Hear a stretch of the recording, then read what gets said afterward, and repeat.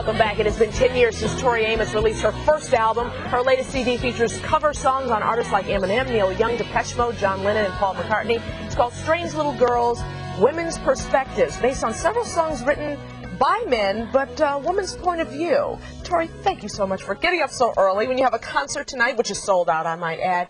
Tell me about this new album. Different album. Uh, something we've never really heard before. You're using male songs and women's voices, right? Well, the idea being if you take a man's word, you take his seed. So we took the man's seed, planted it in the woman's voice, and that's where the consummation of this project happened. But why do it, Tori? it was irresistible in that, um, you know, in the last couple years before September 11th, the violence in lyrics against women and gays has been at a fever pitch.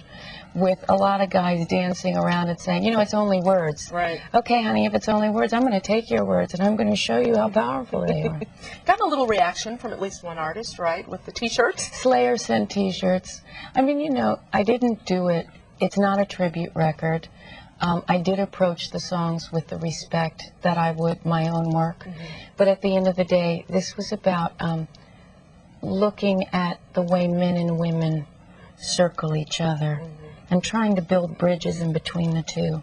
Now, you had a little girl last year. Yeah. Did that have an impact on this album for you? Well, I think, you know, having a little girl, one idea struck me, which was um, a lot of the men in my life wanted to know what was it like being a house on heels, oh. you know, carrying life. Right, right. And they, I thought it would be great if men could be the mothers if, if they could put if they could put some of the bad habits down for nine months to do it, I think it would be a different place.